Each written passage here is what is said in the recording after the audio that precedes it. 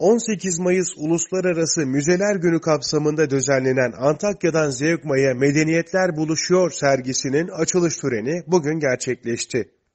Açılışa Gaziantep Valisi Kemal Çeber, Kültür Varlıkları ve Müzeler Genel Müdürü Birol İnceciköz ve Gaziantep Büyükşehir Belediye Başkan Vekili Hakan Arslansoy katıldı. Gaziantep Büyükşehir Başkan Vekili Hakan Arslansoy şunları söyledi. Bu sergi Anadolu'nun zengin kültürel mozaiğini, Zeugme ve Antakya'nın benzersiz eserleri aracılığıyla gözler önüne seriyor. Her bir eser bizlere bu toprakların binlerce yıl boyunca ev sahipliği yaptığı uygarlığın hikayelerini anlatıyor. Kültür Varlıkları ve Müzeler Genel Müdürü Birol İnceciköz şu şekilde konuştu. Kültür varlıkları, e, bunların korunması, ihyası, sergilenmesi bizim bakanlığımızın ana konularından bir tanesi.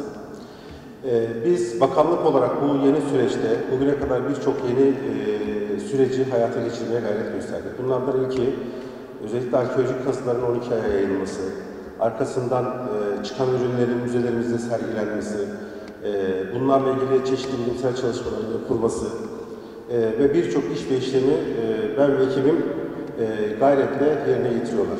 Açılışta konuşan Gaziantep Valisi Kemal Çeber şunları söyledi. Aslında şu anda bile her birimizin ayakları çok önemli medeniyet değerlerinin üzerine basıyor. Çok özel topraklar burası.